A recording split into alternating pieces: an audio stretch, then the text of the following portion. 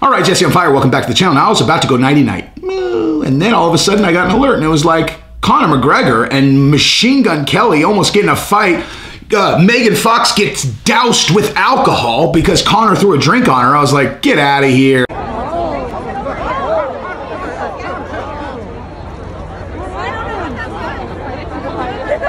Yeah, we know that.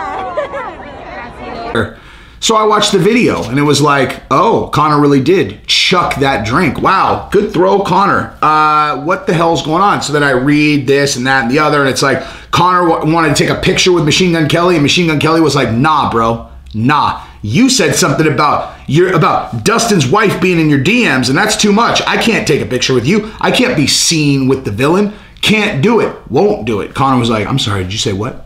You said you do not want to be in a picture with me?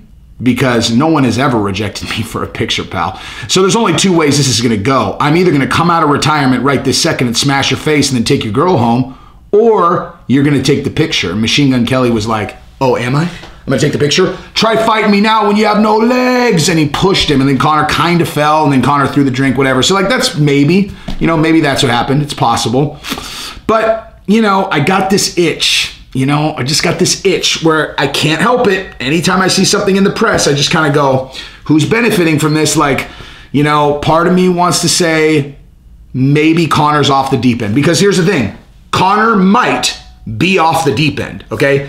If you're a person who is prone to angry drinking, right? Like you get drunk, everybody knows their buddies, okay? I have a buddy, uh, whose name I won't say because I don't want to blow him up, but I'll just say his initials are JF, okay? Now, this is one of the happiest dudes in the world. Like, you, you hang out with him sober, he is the happiest. As a matter of fact, you hang out with him six drinks in, and he's the happiest guy ever.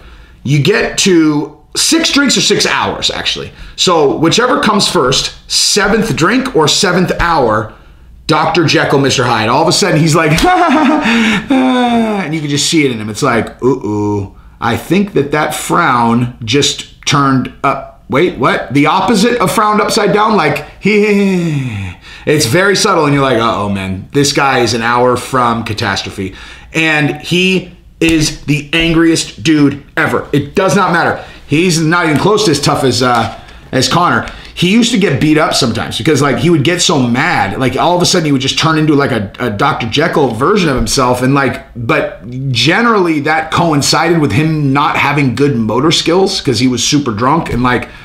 Dude, we saw him get knocked out by this guy, and he was he was so out of line that we didn't even fight the guy. We were just like, all right, like don't worry about it. He he completely brought that on himself, man. Like, you know, there's we're just gonna let that slide. Like he threw a ridiculous punch at you for no reason. What are you supposed to do? And we're like, all right, Jason, let's just come on. Oh, I couldn't believe I said his name. Well, the guy that knocked him out, his name is Chris Sabo, and we made jokes about it forever. We were like, Chris Sabo is the toughest guy ever because, anyway, it's neither here nor there. But the bottom line is, Conor might be one of those. He might just be one of those guys that gets drunk and he turns into an angry little elf. I didn't mean that as a disparaging thing. I am not talking shit. Conor, I'm still, I don't care. Conor can be off the deep end. I'll always be a Conor fan. But there's this other thing, you know, like this itch that I was getting. I was like, God, what is it? What is it? God, let me just think back through my memory bank. Like, Machine Gun Kelly, Machine Gun Kelly. When's the first time that I really noticed that he was around? Something about a rap beef. I think, I think he had like a rap battle with Eminem. I think that's what it was. Yeah, yeah, that's what definitely what it was.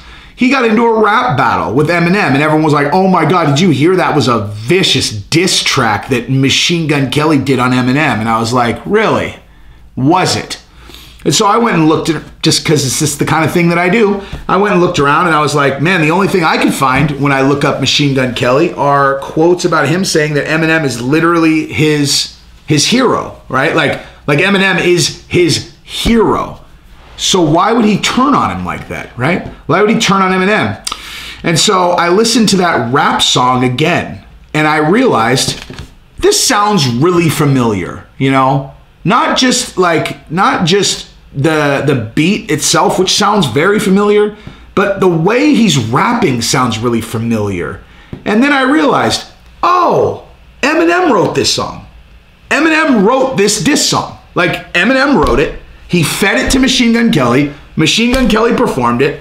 And that was that. And the reason that I was validated in that is because it took it took Eminem literally like three months to respond to it. Machine Gun Kelly did the diss track. Eminem launched an album the next week. It blew up. I still have never heard anybody figure this out. I would bet my life, I would bet my fucking life that Eminem wrote that song. Literally. Maybe not my life, but I would bet I would bet a million dollars up against my finger. Like or even a hundred grand actually. Hundred grand up against my pinky that Eminem wrote that fucking song. And if I'm wrong, you get to chop it off like we're in the fucking Yakuza. That's how sure I am that Eminem fucking wrote that song. And I think he gave him the beat too. Go listen to that beat and go listen to Eminem, I'm sorry, uh, Machine Gun Kelly perform that song and you tell me, okay? Eminem wrote that fucking song and he gave him the beat. Anyway, so I think about that and I go, well, Machine Gun Kelly, what else do I know about him? Massive UFC fan, right? Huge UFC fan. Comes to all the UFC events, right? And what do I know about Conor? Like, what's Conor doing right now while he's laid up with his leg? trying to stay relevant, right? Like something, you know, trying to stay relevant, talking shit on Twitter, doing blah, blah, blah. Anything to get people to talk about him. And so, what seems more likely? Uh, that Machine Gun Kelly and Conor McGregor, huge UFC fan, and Conor McGregor almost getting a fight at the fucking music awards out front where all the cameras are? Or they're both geniuses who collaborated on a fake fight so they could get everyone talking about them because that is what their currency is people talking about them. So when you're looking for, oh my God, what just happened?